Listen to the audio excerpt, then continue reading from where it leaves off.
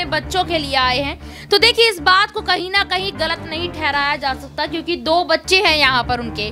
एक पंद्रह साल और एक कुछ छह साल का एक बेटी या बेटा है उनका तो दोनों बच्चे अगर देखा जाए तो इतने बड़े भी नहीं किस किस बात की ममता की आप यहाँ पे बात कर रही हैं? जब जब उनके बच्चे यहाँ पर रो रहे थे जब कह रहे थे कि उनकी माँ उनको छोड़ के चली गई मतलब एक बहाना बना के घूमने का और वो चली जाती है पाकिस्तान। यहाँ पर किस नाजमीन की यहाँ पर दोनों को दोषी ठहराया जा रहा है। लेकिन दोषी यहाँ पर भारत सरकार को भी ठहराना चाहिए।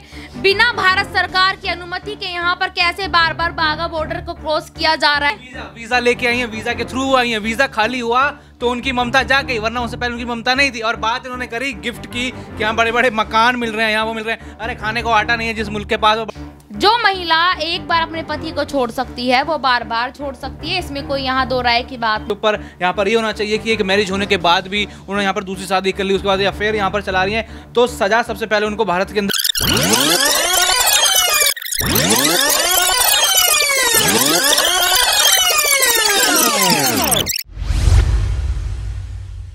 नमस्कार, कहा सुनी देख रहे हैं आप? मैं हूँ नासमिन खान आपके साथ। एक बार एक नए टॉपिक के साथ फिर से हाजिर हो चुके हैं और ये नया टॉपिक आप नया भी कह सकते हैं और ये भी कह सकते हैं कि एक पुराने मुद्दे में एक नया मोड़ आता हुआ नज़र आ रहा है।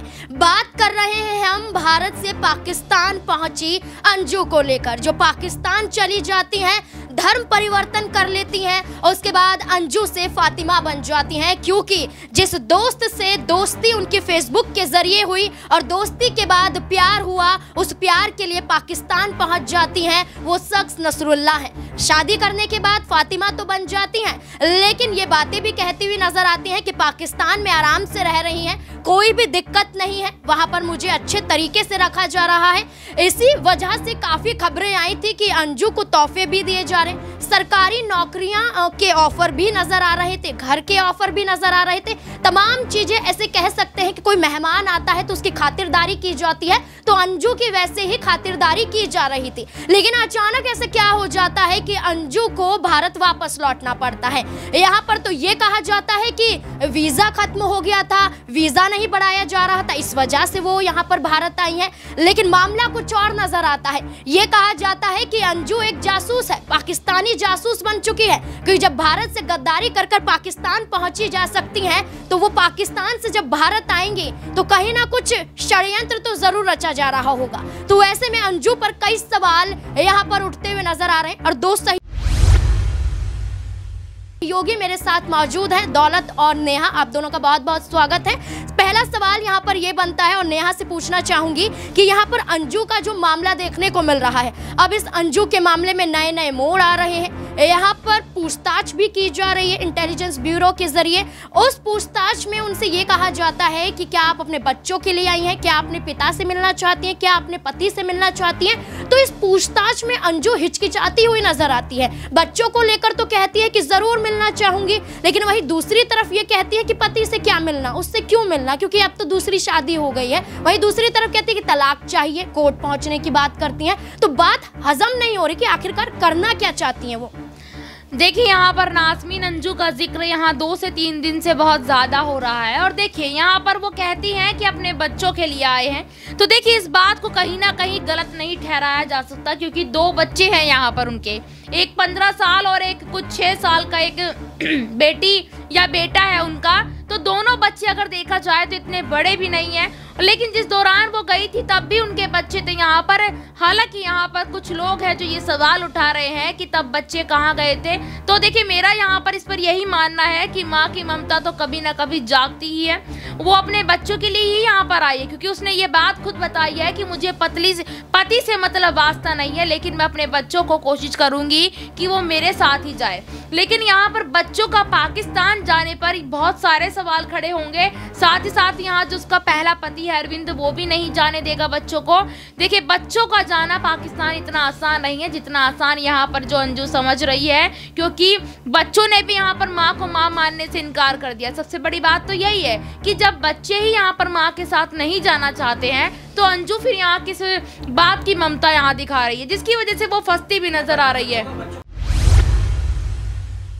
किस किस बात की ममता की आप यहाँ पे बात कर रही हैं? जब जब उनके बच्चे यहाँ पर रो रहे थे जब कह रहे थे कि उनकी माँ उनको छोड़ के चली गई मतलब एक बहाना बना के घूमने का और वो चली जाती है पाकिस्तान। यहाँ पर किस ये किस बात का प्यार है कि आपने बच्चों का यहाँ पर ख्याल नहीं करा यहाँ पर आपके बच्चे आपके रहे थे और फिर अचानक से माँ की ममता जाग गई जब यहाँ पर जो है उनका वीज़ा एक्सपायर हुआ। तो अ, मैं मैं बताऊँ तो सीधा सीधा यहाँ पर जो है झूठ बोला जा रहा है। यहाँ पर बिल्कुल भी विश्वास करने वाली औरत यहाँ पर अंजू नहीं है और ना ही लोगों को विश्वास अभी तक सीमा पर है कि जिस तरीके से सीमा यहाँ पर इतनी सारी जो है भारत की सीमा लांग के आ गई, फिर उसके बाद हमने अंजू को देखा तो दोनों ही विश्वास करने वाले नहीं है, दोनों ही जो है हमारे देश को यहाँ पर छलने के लिए आई है।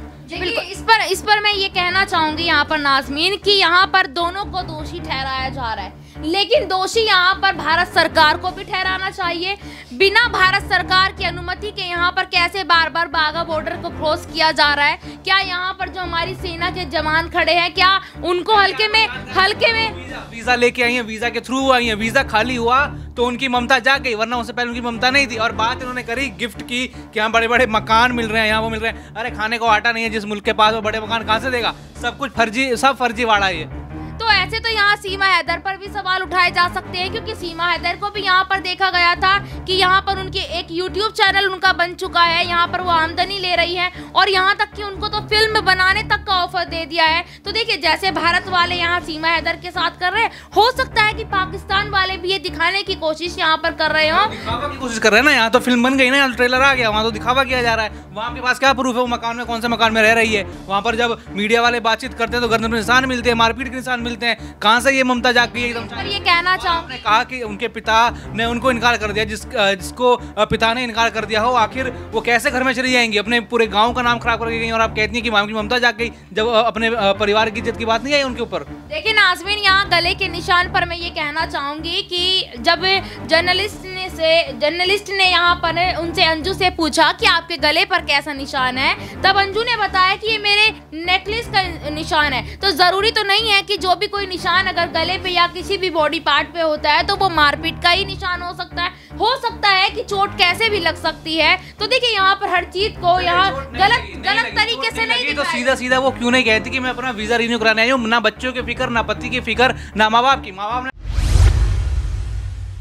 तो उनको जब वो वापस आई मुँह तक नहीं लगाया उनको गाँव में नहीं घुसने दे रहे बस वीज़ा की फ़िक्र है यहाँ कोई बच्चों की या फिर अपने पति पति की फ़िक्र नहीं है। एक सवाल- छुटकारा पाने आई अपने पति से तलाक लेने के लिए वो भी शायद मिले ना मिले ऐसे ही वापस पाकिस्तान मैं तो कहता हूँ उन्हें भेज दिया जाए दोबारा। मैं एक सवाल और लेना चाहूँगी इसी बीच में रोकना की कोशिश जो कर रही हूँ क्योंकि यहाँ पर ये देखा जा रहा है की वीज़ा की बार बार बातें चल रही है। तो ये भी हो सकता है की एक मामला अरविंद जो उनके पुराने पति है उन्होंने एफआईआर दर्ज कर रखी है राजस्थान भिवाड़ी में वो भी अंजू के खिलाफ कई धाराओं के तहत जिसमें बिना तलाक के अंजू का दूसरी शादी करना भी हो सकता है और धोखाधड़ी का आरोप भी हो सकता है। इसी के साथ साथ देखा जाए तो अब ये कहती हैं अंजू अपने दोनों बच्चों को पाकिस्तान लेकर जाना चाहती हैं और यहाँ पर वीज़ा खत्म हो गया है। नसरुल्लाह कहते हैं जो उनके पाकिस्तानी पति हैं कि दो महीने का समय भी लग सकता है तीन महीने का समय भी लग सकता है। हो सकता है कि एक साल का भी समय लग सकता है। तो क्या यहाँ पर आप दोनों को ऐसा तो नहीं लगता है कि वीज़ा यहाँ पर जब तक नहीं बन जाता जब तक अंजू यहाँ पर रहना चाहती हैं? और दूसरी बात यह है कि वो यही इंतज़ार कर रही है वीज़ा बन जाए मैं पाकिस्तान चली जाऊँगी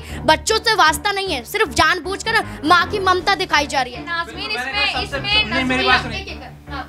इसमें नसरुल्ला जो की पाकिस्तानी पति है उन्होंने खुद पाकिस्तान मीडिया से ये बात कही है कि देखिए, वो वीज़ा के लिए ज़रूर गई है। चले, मान लिया जाए कि पाकिस्तान में उनका वीज़ा खत्म हो गया है, लेकिन नसरुल्ला ने ये भी बात कही है कि अगर उनका वीज़ा यहाँ पर दोबारा से नहीं बनता है तो हो सकता है कि भारत में ही रहना पड़ सकता है अंजू को। हालाँकि वो अपने पति से यहाँ पर अलग रहेगी, लेकिन बच्चों के साथ ही वो रहती हुई भविष्य में नज़र आ सकती है। और हो सकता है कि अंजू का मन बदल जाए और वो पाकिस्तान जाए ही ना।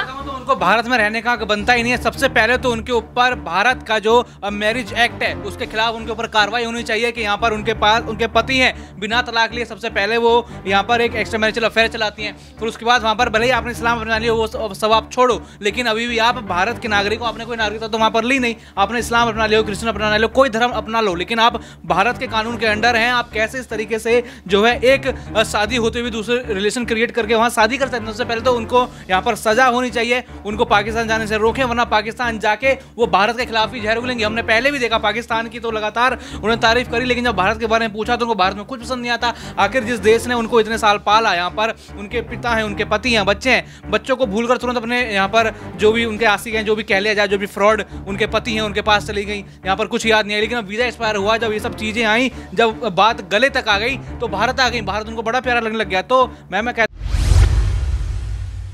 कहता हूँ, ये पूरा ढकोसला है, एकदम यहाँ पर जो देखा जाए सिर्फ़ एक हाइप देने के लिए, अपने आप को मशहूर करने के लिए, मैं तो कहूँ ये एक स्टंट है, और यहाँ पर साफ़ झूठी है, उनको कोई ममता यहाँ नहीं जाएगी, बस अब उनको अपना फ़ायदा देखना है। तो सबसे पहले मैं चाहता हूँ उनके ऊपर यहाँ पर मैरिज एक्ट के खिलाफ उनके ऊपर कार्रवाई हो, उनको जेल में डाला जाए। एक आखिरी सवाल रहेगा कि क्या नसरुल्ला यहाँ पर अंजू को तलाक भी दे सकते हैं? क्योंकि बात करें, जब आप अपने पति को छोड़कर दूसरे शख्स के साथ जा सकती हैं, सीमा हैदर के मामले को देख लीजिए। यहाँ पर यह कहा गया कि पबजी के ज़रिए सचिन के साथ मिली यहाँ पर जो उनके गुलाम हैदर जो पाकिस्तानी पति थे उससे पहले भी कई यहाँ पर आ, किसी से प्यार करती हुई नज़र आई थी। तो क्या अंजू के मामले में भी ऐसा मोड़ आ सकता है कि अंजू को लेकर नसरुल्ला को ऐसा शक होने लगे कि अब ये तो यहाँ पर फंस गई हैं जेल जाकर रही हैंगी? तो क्या वो पीछा छुड़ाने के लिए कदम उठा सकते हैं कि वापस पाकिस्तान लौट जाएँ और तलाक देने की बात करते हुए नज़र आए? देखिए बिल्कुल देखा जा सकता है यहाँ पर। इस पर मैं ये कहना चाहूँगी कि जो महिला एक बार अपने पति को छोड़ सकती है, वो बार बार छोड़ सकती है। इसमें कोई यहाँ दो राय की बात नहीं है। लेकिन हो सकता है कि जब इतनी दूर से इतनी सीमा को लांग कर यहाँ नसरुल्ला के लिए अंजू गई है तो शायद यहाँ पर सच्चा प्यार भी हो सकता है। देखिए, कुछ नहीं कहा जा सकता इस मामले में। ये तो आने वाला समय बताएगा कि आखिरकार अंजू यहाँ क्या चाह रही है, या फिर क्योंकि जिस दौरान वो पहले पाकिस्तान गई थी, तब ये भी बताया गया था कि शायद उनकी जो मेंटल हेल्थ है वो सही नहीं है। हो सकता है कि वाकई में उनकी मेंटल हेल्थ यहाँ सही ना हो, और वो बार बार पाकिस्तान और भारत और भारत से पाकिस्तान वाला ये जो खेल खेल रही है।